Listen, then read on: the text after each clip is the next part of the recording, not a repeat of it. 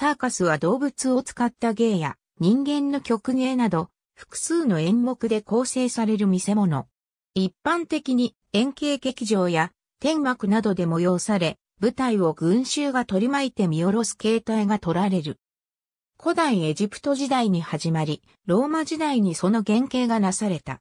また、近代サーカスの原点としては1770年のイギリス、アストリーローヤル演芸劇場での開催とされる。語源は、ラテン語で、演習、回転を意味する語であるとする説と、古代ローマにおいて、人間と猛獣の格闘などに使用された、円形競技場であるとする説がある。現在の動物の芸や人間の曲芸が見せ物として成立したのは古代エジプト時代であり、それらを円形の劇場において実施するという形態が取られ、始めたのが古代ローマ時代とされている。近代サーカスは、イギリス人退役軍人のフィリップ・アストリーによって確立され、ヨーロッパからロシア・アメリカへと広がったとされる。しかし、アストリー自身はサーカスという用語を使っていない。従来より見せ物として確立していた動物芸、人間の曲芸に加え、アストリーは道家芸という概念を新たに取り入れている。道家芸は19世紀初頭に活躍したパントマイム役者、ジョセフ・グリマルディ、ジーン・オリオールらによって、喜劇中の振られ役、失敗ばかりして観客の笑いを取るというスタイルが確立され、真っ白に塗った顔にダブついた服装というお決まりのピエロ姿で、近代サーカスでは欠かせない要素の一つとなった。フランスの曲馬団による浅草での興行。歌川国旗、1871年日本に初めてサーカスが訪れたのは1864年でアメリカリズリーサーカスにより横浜で興行がなされた。それまで日本でも見せ物は存在したが、芸種別に一座を組んで個々に興行を行うというスタイルが一般的で様々な演目を一度に見せるというサーカスは大きな反響を呼んだ。1886年にはイタリアのチャリネ一座が来日する。この公演に強い衝撃を受けた五代目、小野駅九五郎は12月、木阿弥の、鳴京、チャリ音力馬という猛獣使いなどが登場する歌舞伎を、千歳座で上演している。日本人のサーカスとしては、チャリネ一座から名前を取り、1899年に山本清七らによって設立された日本チャリネ一座が最初であるとされる。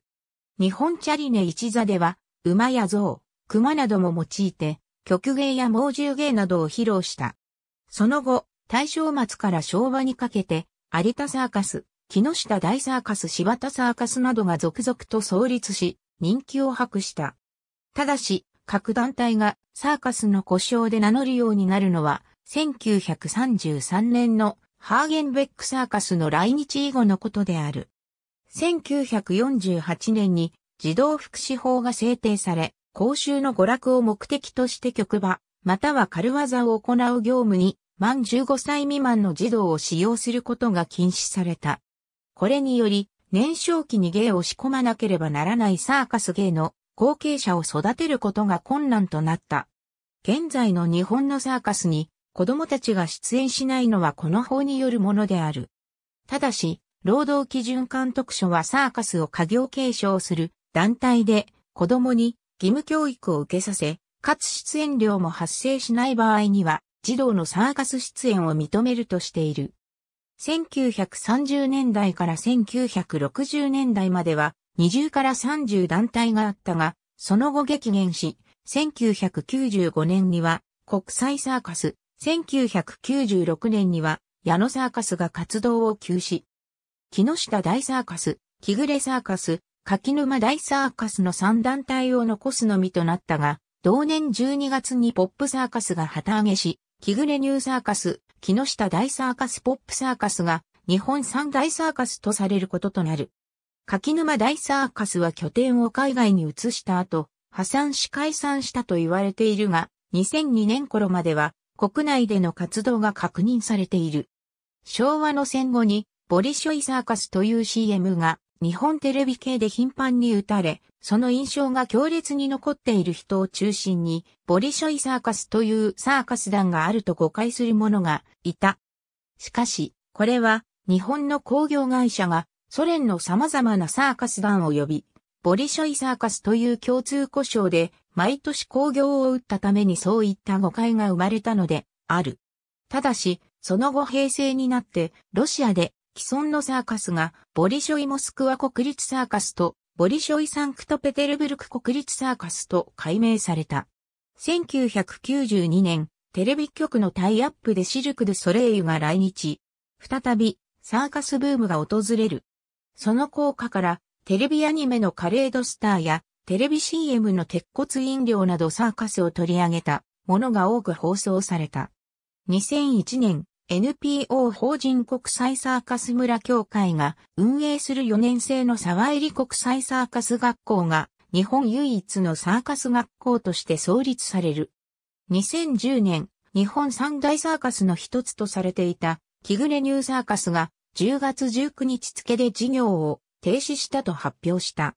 近代サーカスで上演される演目は無数にあり、多様化の一途をたどるが、一般的な演目としては以下のものが挙げられる。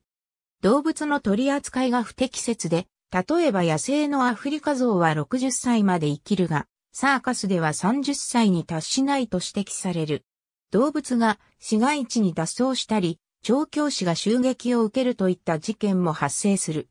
サーカス団は旅をしながら芸をする、いわばよそ者であるため、芸人はもともとさらわれたり買われたりした子供だという、言われのない偏見にさらされることがあった。特に大正から昭和にかけては、夕方遅くまで遊んだり、行儀の悪い子供に対して、サーカスに売られる、体を柔らかくするために酢を飲まされるなどと叱る、光景がよく見られた。これは、ロマのような移動型少数民族が、滞在先の住人や国家から白眼視されたのと、背景は同じと考えられる。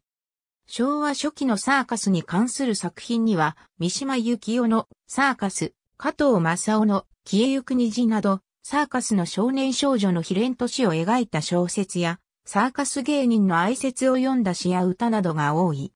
海一グランプリのシリーズ戦で、世界中を転戦する様子を、サーカスの巡業になぞらえて、海一サーカスと呼ぶことがある。発表順サーカス映画リストも、参照のこと。ありがとうございます。